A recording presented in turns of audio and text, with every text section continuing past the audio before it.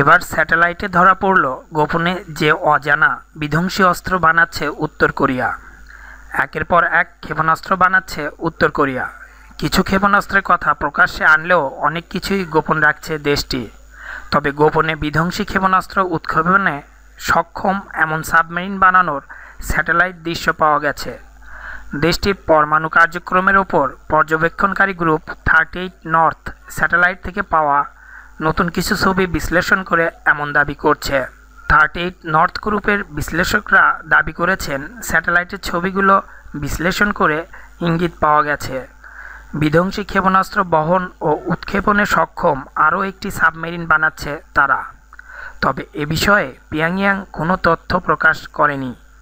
ওই গ্রুপের ওয়েবসাইটে বলা হয়েছে, এই সাবমেরিন নির্মাণের কাজ দ্রুততার সাথে এগিয়ে চলছে। স্যাটেলাইটের ছবিতে দেখা গেছে দুই হাজার সতেরো সাল জুড়ে এই শিপইয়ার্ডের কাজ চলছে। বড় বড় জিনিসপত্র এক জায়গা থেকে অন্য জায়গায় সরানো হচ্ছে। নির্মাণ সামগ্রী রাখার বড় হলরুম থেকে বিভিন্ন ধরনের জিনিসপত্র বের করা হচ্ছে।